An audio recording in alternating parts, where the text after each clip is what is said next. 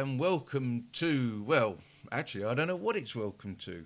Basically, this is a bit of a test of uh, the Q502 that Keith Milner bought for us. Um, I say us, I mean the Dick Turpin Roadshow, of course. I've been testing it out this morning. I've actually even been doing some singing. Um, the voice wasn't too bad, but uh, sadly, uh, it would appear I can't remember the lyrics that I thought I could remember. So there was lots of uh, fitting, farting, stopping, and starting. Um, I'm quite impressed with uh, the sound quality that this is giving much better than the Samson uh, CO1U that I used to use at any rate. Seems to be a, a lot uh, flatter um, and possibly a richer sound, I don't know. Certainly the headphones I use, which are some Sennheisers, uh, I can't remember what the designation is, they seem very bass heavy. Um, so maybe that's giving me a false impression. I'm going to use some iPod uh, earbuds later on and see how how sort of bass or rich the, the sound is.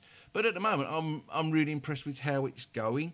Um, need to fathom out where really I can have this deck so that at least I can look at the nice pretty lights that are flashing so that uh, I'm not too loud for everyone. But uh, yeah, all in all, um, pretty productive morning.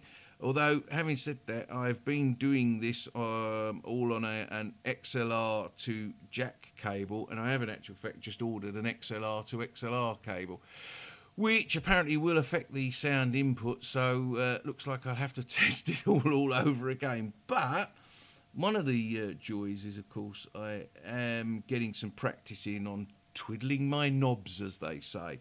Um, this isn't going to be uh, a regular thing, I don't believe, but uh, that is putting something up on YouTube for you to uh, sadly listen to. But I just thought I'd record something to uh, see what the sound quality's like and put it up there and out there, as they say, and uh, see what everybody thinks. So, um, catch you on the regular show of uh, the Dick Turpin Road Show, which hopefully we should be recording sometime this week. Um, anyway, take care, and it's Pete signing off.